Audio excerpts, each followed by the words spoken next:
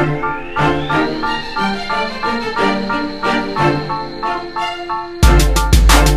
morning, Patriots. Welcome to Rex Pines TV. I'm Peyton Forbes. Please stand for the Pledge of Allegiance. I pledge allegiance to the flag of the United States of America and to the republic for which it stands, one nation, under God, indivisible, with liberty and justice for all.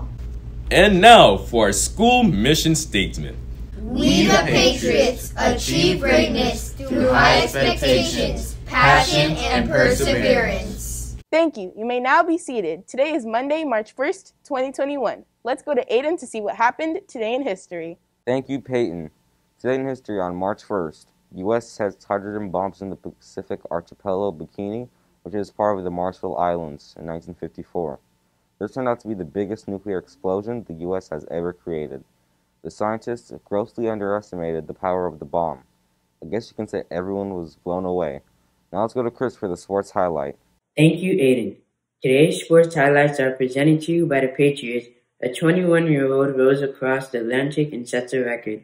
Last Saturday morning, Jasmine Harrison became the youngest woman to row alone across an ocean. It took the 21-year-old swim teacher just over 70 days to row across the Atlantic Ocean. Every year, rowers taking part in the Atlantic campaign set off from the Canary Islands in December and row roughly 3,000 miles across the Atlantic. Some handle the rowing in teams of two, three, or four. Others, like Miss Harrison, row by themselves. Now let's go to Noah to see what's for lunch. Thank you, Chris. Today's lunch is chili mac, Fritos, green beans, diced pears, and milk. Bon appetit! Now let's kiss to Sonia for our National Week segment. Thank you, Noah. Good morning, Patriots. This week is National Cheerleading Week. This week gives recognition to the job of cheerleaders and how they encourage their team. Some celebrities who were previously cheerleaders include Sandra Bullock, George W. Bush, Miley Cyrus, Megan Fox, and Cameron Diaz. Did you know that the founder of this sport was Linda Lundy? Thanks to her, we now have people to cheer our players on. Happy National Cheerleading Week! Let's go back to Peyton. Thank you, Sonia. Patriots, the Scholastic Book Fair is going on now. It will run until March 7th. The book fair is virtual this time around.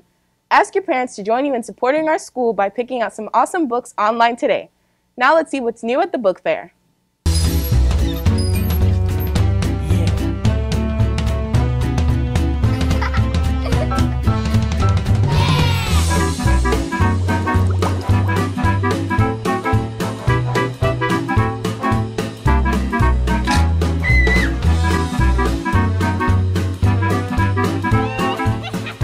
What's new at your Scholastic Book Fair.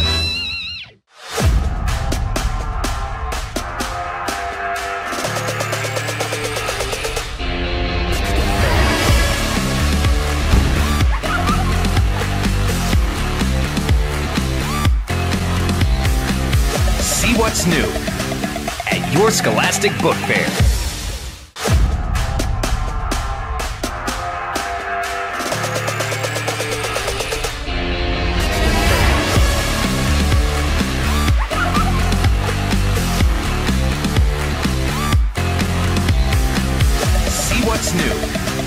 At your Scholastic Book Fair.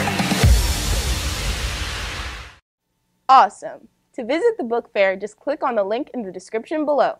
And scholars, March Madness starts this Wednesday, March 3rd through March 12th. We are putting class against class in an epic I-Ready showdown. The incentive will be pizza and ice cream for the winning class. Now let's see what the weather is going to be like today with David.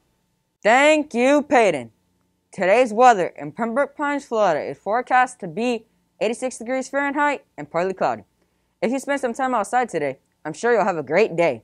Now let's go to Samuel for the joke of the day. You, David. And here's today's joke of the day.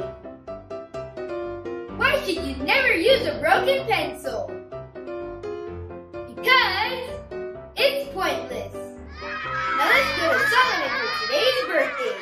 Thank you, Samuel. Great joke. Today's birthday boys and girls are Melorick Vera, Selena James, and Anthony Davila. Happy birthday! Now let's go back to Peyton. Thank you, Solomon.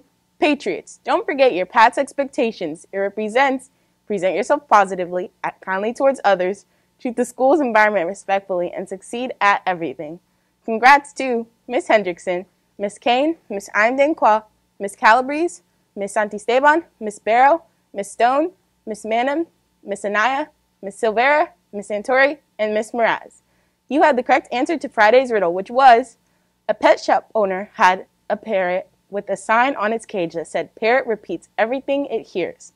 Davy bought a parrot for two weeks and spoke to it. And it didn't say a word. He returned the parrot, but the shopkeeper said he never lied about the parrot. How can this be? The correct answer to this riddle was the parrot was deaf. Now for today's riddle. If you had a ton of zebras and a ton of leaves and you put them on a balance, which side of the balance would lower? Again, if you had a ton of zebras and a ton of leaves and you put them on a balance, which side would lower? Teachers, please send your answers to pines.renaissance at gmail.com before 10 a.m. in order for your response to be reviewed. Winners will be announced the following day. Everyone at RPTV would like to wish you all a marvelous Monday. And don't forget, remember, reunite, rise. Have a great day.